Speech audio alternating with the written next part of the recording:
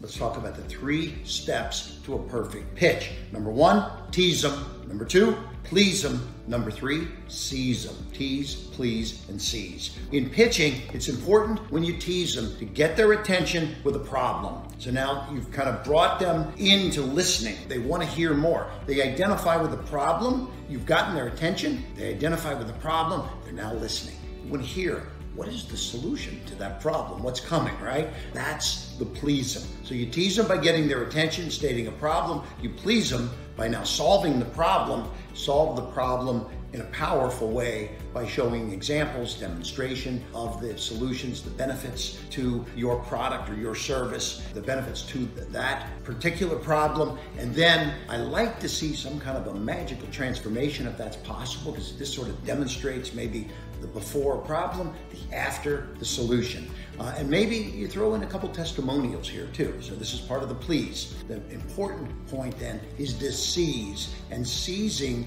is now kind of closing, getting the order, making the offer irresistible. Uh, you have to have something that gives them a buy now incentive, an act now, a reason to take action, and that is the seize.